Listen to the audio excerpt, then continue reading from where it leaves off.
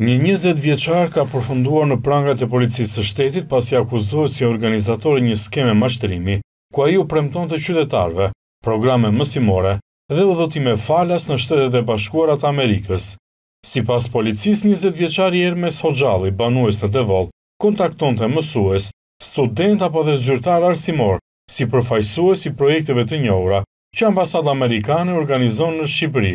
Programet u premtonin nxënësve dhe mësuesve udhëtime falas në Shtetet e Bashkuara, njëzet vjeçari Hoxhalli kishte arritur të krijonte një identitet tjetër, duke u angazhuar me zyrtarë të Ministrisë së Arsimit dhe shkollave në mbarë vendin. Po kështu njëzet vjeçari prodhonte dokumente që mbanin vulat dhe emrat e zyrtarëve të ambasadës. Ndaj njëzet vjeçarit Ermes Hoxhalli është caktuar masa e arrestit në burg për akuzën e falsifikimit të dokumentave dhe falsifikimit kompjuterik.